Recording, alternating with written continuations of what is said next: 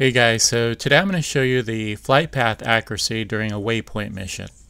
I'm going to be flying over a football field so you'll have field lines that you could use as a reference during the flight. The mission is going to include straight runs, acute turns, curve turn, altitude changes, and then I'm going to run it with a 5 mile per hour run the first time and then a 15 mile per hour run for the second run. Okay, here's a quick video showing you the path.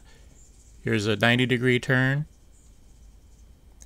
And then here we come to a 90 degree turn with a curve turn.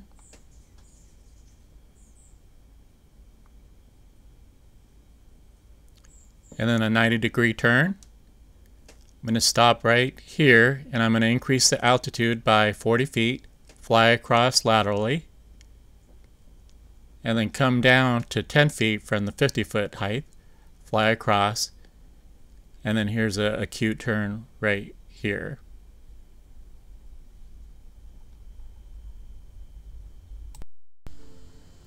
Alright, so let's go ahead and get this mission going.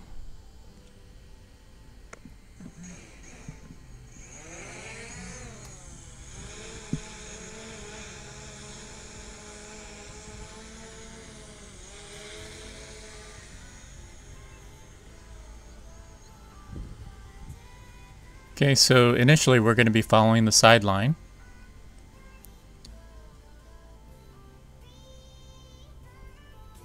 And the first turn will be at the 50 yard line, a 90 degree turn. You can see it's following the sideline quite accurately here. Alright, here's the turn. You could see that it did overshoot it a little bit, the 50 yard mark, and it is not exactly along the 50 yard line, maybe off by a yard or so. Okay, and then at the sideline, we're going to do a 90 degree turn, transitioning into a curve turn. Alright, now we're following along the curve turn here.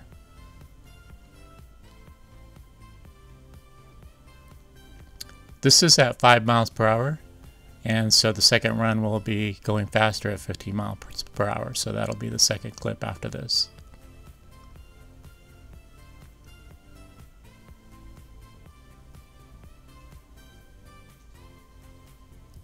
Okay, here we are at the goal line and the sideline. We're going to make a 90 degree turn.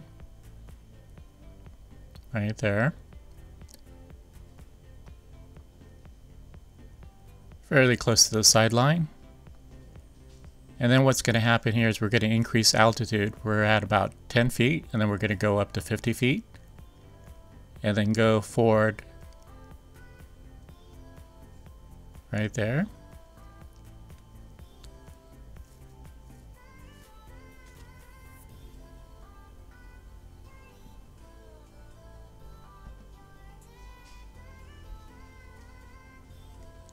Now we're going to be descending right here. And then we're going to turn 90 degrees.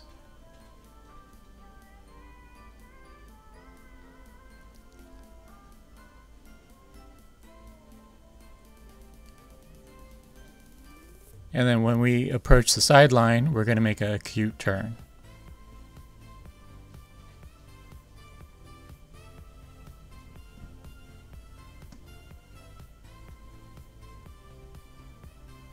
Now it's a little bit hard to notice, but there is some overshoot on each of these sharp turns.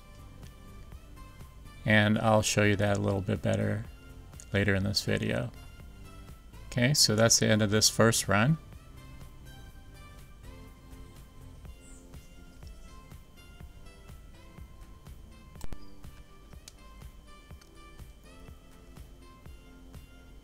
Alright, so now we're going to do the exact same run except we're going to increase the speed from 5 miles per hour to 15 miles per hour. And during this run, you'll see the overshoot is going to be a lot more prominent in watching the video here. Alright, so let's go ahead and fire up the Mavic.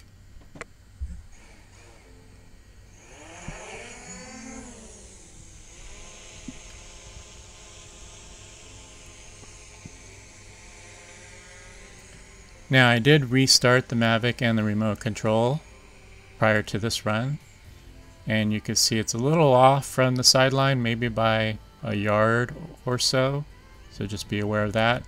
Here's the 50 yard line and you can see how far it overshot.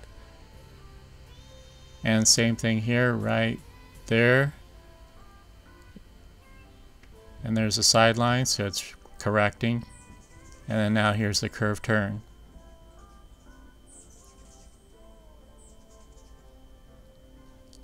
Okay, it's going to overshoot here as well. Notice where the sideline is. And here it's increasing in altitude. And then flying forward.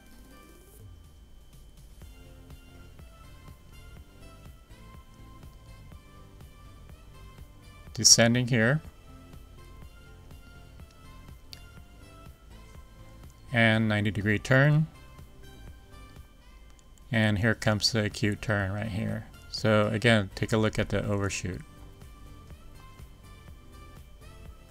Okay. Coming back home.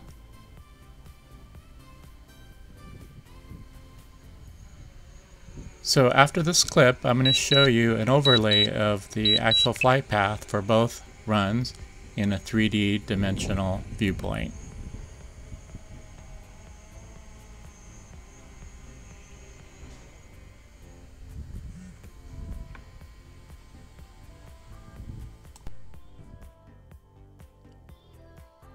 So here's the 3D flight path for both runs.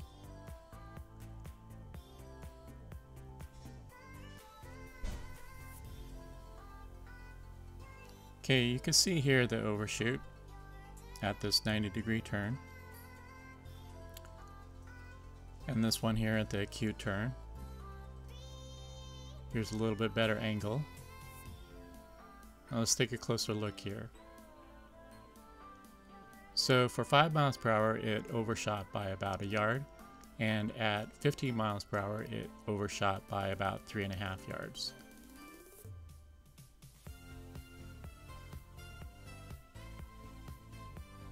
Okay, over at this turn, about the same. Let's take a look at it vertically. And you can see that it overshot there. Does self-correct as it goes up. And the vertical overshoot, the height, seems to be pretty nominal, so that doesn't seem to be a factor. Here's the overshot again.